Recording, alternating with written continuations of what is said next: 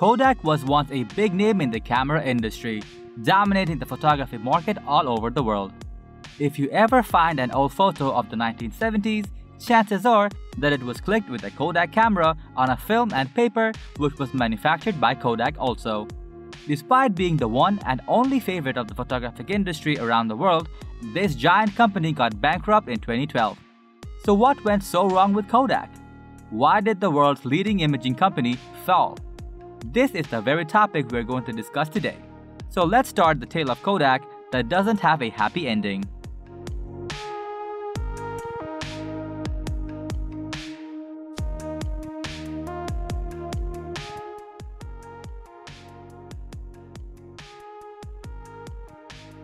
Kodak was established by George Eastman and Henry A. Strong in 1892. For most of the 20th century, Kodak was the world's leading manufacturer of the photographic film and was considered to be the world's undisputed leader in the photographic industry. By 1968, Kodak had almost 80% of the global photography market share in its pocket. The company had a solid strategy for making profits called the razor and blades. This theory implies that you sell the razor at a very low price, and after that, when consumers need blades to use the razor, you sell the blades at a higher price and make a profit. With that strategy, Kodak used to sell its cameras at a very low price and sell the paper, film, and other materials for printing the photo at a higher price. Using this business model, Kodak was able to generate tremendous revenue and became a huge success.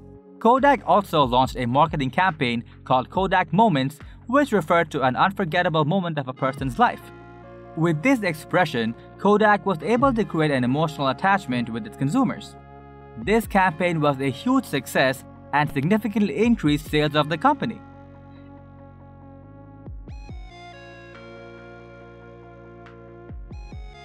Everything was going well until the arrival of new technology, more specifically, the digital cameras.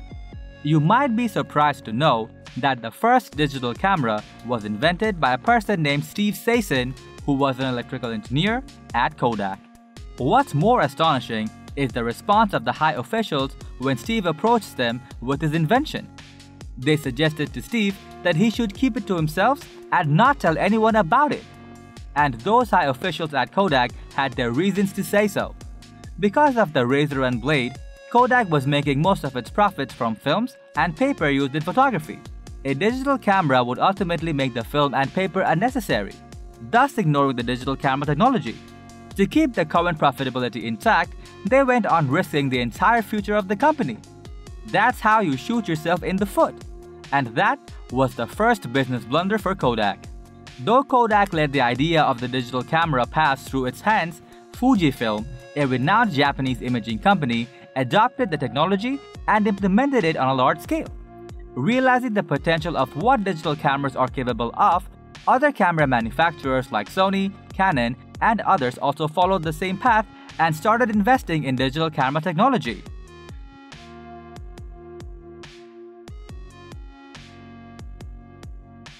In 1981, Sony came up with its first digital camera prototype called Mavica. After that, Kodak became a little concerned about the technological disruption caused by digital cameras. Vince Barabba, Kodak CEO at the time, carried out comprehensive research to find out the core technologies of digital cameras and the likelihood of their adoption. The research concluded with two main insights. One, the digital camera is going to replace traditional film and paper photography. Two, the adoption of digital cameras would take some time, roughly about 10 years. At that moment, Kodak had roughly 10 years to make a transition from traditional photography to digital camera business. However, Kodak put little effort into digital technology. Rather, it invested itself more in verbal spats and arguments with other competitors to establish the thought that film and paper photography is better than digital photography and consumers like the feel of touching a photograph. It also had a firm belief that at least consumers of USA won't favor any Japanese company like Fujifilm or Sony over Kodak. Kodak took pride in its traditional business and its overconfidence prevented them from seeing the future.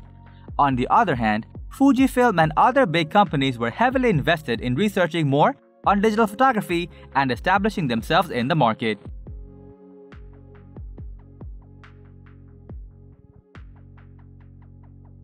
Kodak also made some bad investments during those years. In 1988, Kodak invested about $5.1 billion in sterling drugs in a hope that the chemical business would help them in manufacturing photo paper. But later on, Kodak realized that the drugs that Sterling was dealing with had little use in photography. Ultimately, Kodak had to sell it out with half the purchase price. So instead of investing money on bringing on new technology into the company, Kodak wasted its time and money on acquiring unnecessary small companies and establishing their blind optimism about film and paper photography. But still, Kodak had a chance to get back on the right track in 1989. When the board of directors was choosing the next CEO of the company, they had two options Phil Samper, who was a digital photography enthusiast, and K.R. Whitmore, who was more of a traditional mindset. And the board recruited Whitmore. Mr. Whitmore confirmed that he would make sure Kodak stayed closer to its core business in film and photographic chemicals. It was the last nail to the coffin for Kodak. After that, the decline of Kodak became inevitable. But at the beginning of 2000, Kodak finally understood that it had to stop what it was doing and adopt new technology. But it was too late by then. Other big giants like Fujifilm, Sony, Nikon were already in the market with their exceptional popularity among the consumers. So Kodak was no longer the king of the global photography market. In 2004, Kodak officially stopped producing its traditional film cameras and put more focus on digital camera. In 2005, the global camera market share was still the highest for Kodak, but it was so close to losing its leading position. By 2009, the global camera market share was led by Canon, and Kodak was way behind Sony, Nikon, Samsung, and others. In 2012, Kodak faced bankruptcy, which ultimately forced them to get out of the camera business. But Kodak didn't vanish totally. The company still exists with much smaller capacity and shifted its focus from photography. Recently, it has been reported that Kodak is working on manufacturing the COVID vaccine. So that was all about the downfall of Kodak. Kodak would be a name to remember for the improvement and discoveries it brought to the camera and imaging industry.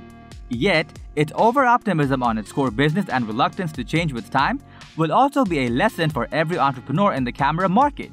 Hope you liked the video, and if you have learned anything new or want to share your thoughts regarding this video, let us know in the comment section.